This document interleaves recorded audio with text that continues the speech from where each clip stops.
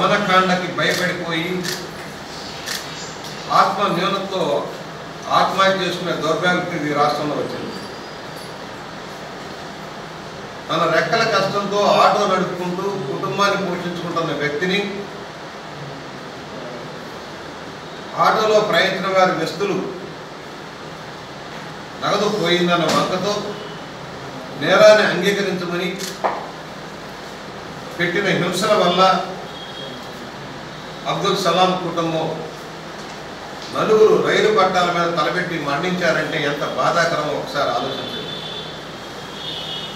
అసలు పోలీస్ వ్యవస్థ ఎలా పనిచేస్తుందో ఒక ఉదాహరణ. రాష్ట్రంలో అన్ని కీలక పోస్టుల్లో ముఖ్యమంత్రి గారి బంధుజనాన్ని డిఎస్పీగా సీఎల్గా నియమించారు. సజ్జల రామకృష్ణారెడ్డి గారి సారథ్యంలో పోలీస్ వ్యవస్థ నడుస్తూ ఉంది ఇక్కడ డిఐజిఓ డీజీపీఓ కాదు హోమ్ సెక్రటరీ కాదు నడుపుతుంది సజ్జల రామకృష్ణారెడ్డి అనుకో జగన్మోహన్ రెడ్డి సారథ్యంలో ఈ అరాచక విధానాలను తప్పుడు కేసులు పెట్టడం భయభ్రాంతులకు గురి చేయడం. అదే అధికార పక్ష నాయకులు తప్పులు చేసిన ఎలాంటి కేసులు ఉండవు.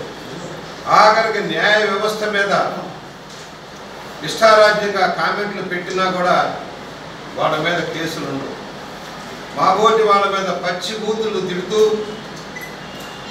ఫేస్బుక్లోను వాట్సాప్లోను నిందలు వేస్తూ ఉంటే వాళ్ళ మీద చర్యలు రాష్ట్రంలో ఇలాంటి ఆటవిక అరాచక విధానాలు చదువుతున్నది ఇది ఎగ్జాంపుల్. ఒక ఆత్మకు ఒక దాచేపల్లి గుంటూరు జిల్లాలో.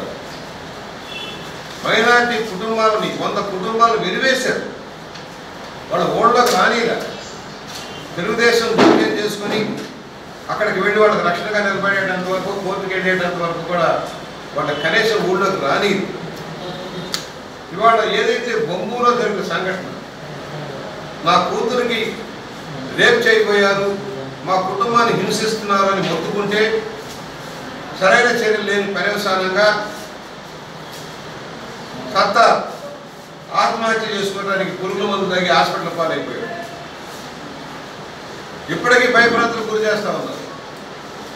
రాష్ట్రంలో దళితులకి మైనార్టీలకి రక్షణ లేకుండా పోతుంది. ఏ దళిత మైనార్టీ ఓట్లతో అధికారంలోకి వచ్చాడో జగన్మోహన్ రెడ్డి? ఆ విషయాన్ని మర్చిపోయి వాళ్ళ మీదే దాడు చేయించే విధానం. వారి సంక్షేమాన్ని ఎదురికి గాలి వదిలేశాడు. ఎస్సీ సప్లాన్ గాలి వదిలేశాడు. మైనార్టీలకు ఇవ్వాల్సిన అన్ని స్కీములు రద్దు చేశాడు. గత ప్రభుత్వం కేటాయింపేసిన నిధులన్నీ కూడా పక్కదారి పట్టించాడు. మైనార్టీలకు రక్షణ లేదు. కూడా దళితులకు రక్షణ లేదు. మేము ఒకటే అడుగుతున్నాం. పోలీసులు వల్ల నేను మరణించానని చెప్పాడు. నేను చచ్చిపోతున్నాం. మా మీద తప్పుడు కేసులు పెట్టారు. అంటే ఏ పోలీసులు? ఏ స్టేషన్కి పిలిపించారు? కనీస ఇంగిత జ్ఞానం ఉన్న ప్రభుత్వం ఏ స్టేషన్ వల్ల ఆ బాధితులు మరణానికి కారకులయ్యారు దాని మీద చర్యలు తీసుకోమంటే ఇవాళ సాక్షి పేపర్లో టీవీలో సంకలు గుర్తుకుంటూ ముఖ్యమంత్రి గారికి అభినందనలు చెప్తా ఉన్నారు. దేనికి? దేనికి అభినందనలు నడుపుతాను ఒక ముస్లిం కుటుంబం ప్రభుత్వం నుంచి రక్షణ లేదని ఆత్మహత్య చేసుకున్నందుకు మీరు సంకలు గుద్దుకుంటున్నారని అడుగుతా ఉన్నాం. ఇవాళ బెయిల్ వచ్చిందంటే అంటే మీరు ఎలాంటి కేసులు వేశారు? ఒక కుటుంబం ఆత్మహత్య చేసుకుని పలానా పోలీసుల వల్ల మేము ఈ ఇబ్బందులకు గురైపోయాము. మాకు రక్షణ లేదు. మరణమే శరణమని ఆత్మహత్య చేసుకుని నిండు ప్రాణాలు తీసుకుంటే కనీస చర్యలు లేవా? ఏదో కంటి తూపు చర్యగా సస్పెన్షను మరలా వెంటనే బెయిల్. ఏ రైతులైతే రాజధాని కోసం పోరాడుతున్నారో రైతుల మీద తప్పుడు కేసులు పెట్టారు. ఎవరినో ఒకరిని పట్టుకొని ఎస్సీ అడ్రస్ కేసు పెట్టించారు. అతను చెప్పాడు ఇది తప్పుడు కేసు నేను పెట్టలేదు. నా ఉద్దేశం అది కాదని చెబితే అది పక్కన పెట్టి రైతులకు బేడీలు వేసి జైళ్ళకు పంపించారు. ఈ రోజుకి బెయిల్ ఎవరైతే ఒక మైనార్టీ కుటుంబం సకుటుంబంగా మొత్తం నలుగురు కూడా మరణిస్తే సాయంత్రానికల్లా మధ్యాహ్నానికి పెయింట్ చేతికి వచ్చేలాగా పోలీసు యంత్రాంగం వ్యవహరించిందంటే ఇది ఎలాంటి విధానం ఆలోచించండి అసలు రాష్ట్రంలో డీజీపీ కానీ హోంశాఖ కానీ పనిచేస్తుందా? ఎందుకు ఈ విధానమైన విధానం వచ్చింది? సామాన్యులకు రక్షణ ఎక్కడ? ఈ అసమర్థ ప్రభుత్వం అన్ని రంగాల్లో వైఫల్యం చెందుతుంది. ప్రశ్నించిన వాళ్ళని దాడి చేస్తా ఉన్నారు. కర్నూలులో ఒక ఆటో డ్రైవరు రహదారులన్నీ చిద్రమైపోయినాయి మీరు పట్టించుకోరా అని అడిగిన పాపానికి ఆటో డ్రైవర్ని తీసుకెళ్ళి చితకొట్టి పెట్టారు కేసు పెట్టారు మళ్ళీ. ఎవరైనా సరే ప్రభుత్వ దమన నీతిని ప్రభుత్వ అసమర్థతని ప్రశ్నిస్తే కేసు. వాడు అధికారులు కావచ్చు ప్రజాప్రతినిధులు కావచ్చు ప్రజలు కావచ్చు వందల వేల కేసులతోటే కాలక్షేపం చేస్తా ఉన్నారు. ఏమని గర్వకారణం? మూడు సంవత్సరాలు సెలబ్రేషన్స్ అంటారు. ఏముంది గర్వకారణం పదిహేడు నెలల్లో సాధించింది ఏంటి లక్ష యాభై వేల కోట్ల అప్పులు తప్పితే ప్రజలకు తెప్పలు తప్పితే ఏమిటి సాధించింది? ప్రగతి ఏమిటి? గత ప్రభుత్వ పథకాలని కేంద్ర ప్రయత్న పథకాలని బాబు కొడుకుల పేర్లు పెట్టుకోవడం తప్పితే మీరు చేసిన నిర్వాహం ఏంటని అడుగుతా ఇవాళ లక్ష కోట్ల కాంట్రాక్ట్ల బిల్లులు పెండింగ్. టెండర్ వేసేవాడు లేడు పని చేసేవాడు లేడు భయపడి భయభ్రాంతులకి కేంద్రం ఇచ్చే నిధులన్నీ పక్కదారి పట్టిస్తామన్నారు fourteenth finance fifteenth finance regular income ఉన్న పంచాయతీలు మున్సిపాలిటీల ఆదాయాలన్నీ సిఎఫ్ఎంఏ పక్కదారి పట్టిస్తామన్నారు కనీసం పల్లెటూరులో శానిటేషన్ డబ్బులు లేవు జీతాలకు డబ్బులు లేవు కరెంటు బిల్లులు కట్టలేని పరిస్థితి. ఎందుకు ఈ దౌర్పరిస్థితి రాష్ట్రంలో వచ్చింది? ఎన్నిసార్లు ప్రశ్నించినా బాకీలు ఎవరు? బాకీలు చెల్లించరు పనులు చేయరు. ఒక రాక్షస పరిపాలన బహుశా భారతదేశ చరిత్రలో ఏ రాష్ట్రంలో లేనంత అరాచక విధానం. దానికి కారణం ఫ్రాక్షన్ రాజకీయవేత్త ఒక ముఖ్యమంత్రి అయితే ఎలా ఉంటుందో ఇది ఒక ఎగ్జాంపుల్. యథా రాజా తదా ప్రజ. నాయకులను బట్టే వాళ్ళ ఇతర నాయకులు ఎక్కడ చూసినా పేకాట క్లబ్బు నాయకులకు వాటాలు. ఎమ్మెల్యేలు మంత్రులు ఎంపీలు వాటాలు. భూ కబ్జాలు. నీ భూమి కనపడితే చాలు. రాబందుల్లాగా మారిపోతా ఉన్నారు. అధికార కణాన్ని ఒత్తిడి తెచ్చి తప్పుదారి పట్టించి తప్పు రికార్డులు సృష్టిస్తూ ఉన్నారు. ఇదేమని ప్రశ్నిస్తే సమాధానం లేదు. ఇలాంటి ఆటవిక విధానానికి సమగీతం పడాల్సిన రోజు ఉంది తక్షణమే మేము డిమాండ్ చేస్తున్నాం. సలాం చర్య మీద జ్యుడిషియల్ ఎంక్వైరీ కానీ సిబిఐ ఎంక్వైరీ కానీ జరగాల్సిన అవసరం ఉంది. ఈ ప్రభుత్వం యొక్క పోలీసు శాఖ మీద నమ్మకం సడలిపోతా. ఉంది ఎప్పుడైతే ఎఫ్ఐఆర్ పడుతూనే మధ్యాహ్నానికి బెయిల్ ఇప్పించగలిగారు ఈ ప్రభుత్వం యొక్క పోలీసు వ్యవస్థ నమ్మకం ఎందుకంటే ఇది Sajjala Ramakrishna Reddy and company Reddy and company నడుపుతుంది కనుక వాళ్ళు చేస్తున్న అరాచకం మీద ఈ వ్యవస్థ అంతా భ్రష్టు పట్టిపోతుంది కనుక సిబిఐని కోరే దౌర్భాగ్య స్థితి రాష్ట్రంలో వచ్చింది.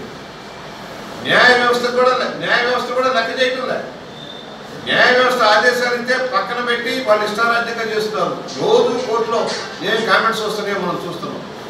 నేను చెబుతున్నా ఈ ప్రభుత్వం రద్దయ్యే రోజు త్వరలోనే ఉంది. త్వరలోనే రద్దయ్యే పరిస్థితికి వస్తా ఉంది. మోసం లెక్క పెడతారు ప్రభుత్వ అధినేతలు. మీ అరాచక ఆటక విధానంతో రాజ్యాంగానికి వ్యతిరేకంగా ప్రవర్తిస్తే మీరు చేసిన ఈడీ దోపిడీలాగా ఇంకా దోపిడీ చేస్తా ఉంటే మీకు శిక్ష తప్పదు. ఈ ప్రభుత్వం మనుగడ అర్థంతరంగా ముగిసిపోయే రోజు దగ్గరలోనే ఉంది. హెచ్చరిక చేస్తా ఉన్నాం. మీ అవినీతి అక్రమాలకు అడ్డుకట్ట వేయాల్సిన సమయం ఆసనం అవుతా ఉంది. ఇసుక మాఫియా మట్టి మాఫియా గ్రావెల్ మాఫియా ఇసుక మాఫియా లెక్కల మాఫియా. ఎక్కడ చూసినా మాఫియా మాఫియా మాఫియా. దోపిడి దోపిడి దోపిడి. పన్నుల మీద పన్నులు పెంచారు. ఎలక్ట్రిసిటీ మీద పన్నులు పెంచారు. లిక్కర మీద పెంచారు. రిజిస్ట్రేషన్ మీద పెంచారు. ఆర్టీసీ బస్ రేట్లు పెంచారు. పెన్షన్ ఏమిటని అడుగుతూ ఉన్నారు రాష్ట్రం కనీసం పంట నష్టపోయిన రైతులకి కనీస సహాయం కూడా అందరూ ఈ రోజుకి రాష్ట్రం మేము ఉన్నాం ఆదుకుంటామని చెప్పి ఈ రోజు గాలి వదిలేశారు. ఈ రోజుకి భయభ్రాంతులకు అవుతున్నారు బొమ్మూరు సత్తారు కుటుంబం.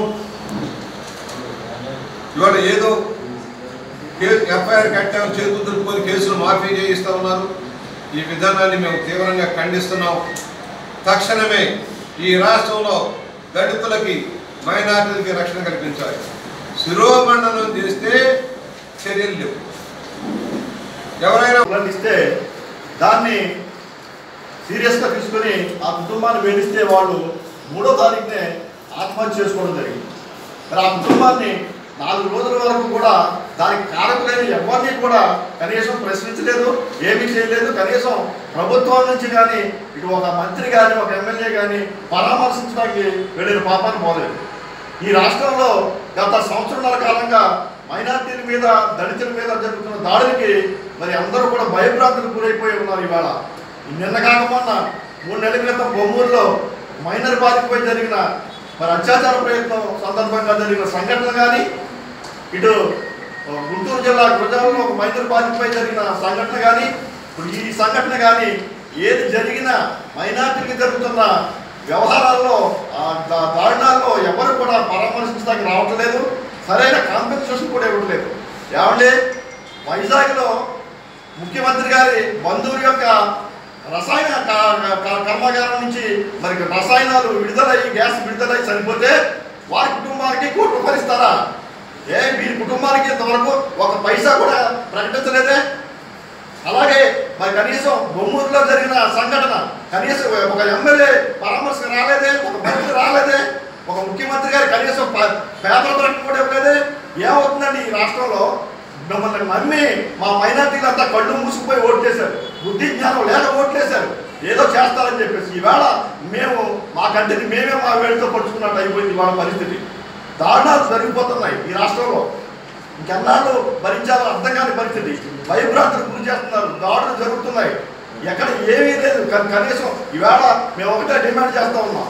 ఈ ఎవరైతే అబ్దుల్ సలాం కుటుంబం ఆత్మహత్య చేసుకున్నారో ప్రతి ఆత్మహత్య చేసుకున్న ప్రతి వ్యక్తికి కూడా కోటి రూపాయలు ఎక్స్ప్రెస్ ఇవ్వాలని చెప్పేసి మేము ఇలా ప్రభుత్వాన్ని డిమాండ్ చేస్తున్నాం అలాగే బొమ్మూరులో జరిగిన సంఘటన ఆ సతార్ కుటుంబానికి వారికి కూడా ఎక్స్ప్రెస్గా ప్రకటించాలి. వారు ఈవేళ చాలా ఇబ్బంది పడే పరిస్థితి ఇవాళ చుట్టుపక్కల ఆ వారు ఉన్న ప్రదేశంలో వారి మీద కేసులు పెట్టారని చెప్పి వీరిని నానా హింసలకు ఇప్పటికీ గురి చేస్తూ ఉంటే కనీసం వచ్చి పట్టించుకున్న నాదుడు ఈ ఈ జిల్లాలో ఉన్న మంత్రి కానీ మరి ఎవరు కూడా పట్టించుకునే పరిస్థితుల్లో ఉన్నది ఈ పరిస్థితి.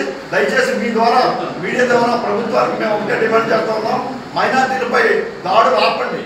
దయచేసి మీరు ఇటువంటి దాడులు జరగకుండా ఎవరైతే ఈ తప్పుడు పనులు చేస్తా ఉన్నారో దౌర్జన్యాలు చూస్తున్నారో వారికి భయం కలిగేలాగా వారిని శిక్షించండి. వారికి గట్టిగా వార్నింగ్ ఇవ్వండి. అప్పుడు కానీ ఎవరికి కూడా ప్రజలకి భయభ్రాంతులు రావు. దౌర్జన్యాలు చేసేవారని చెప్పేసి మీ ద్వారా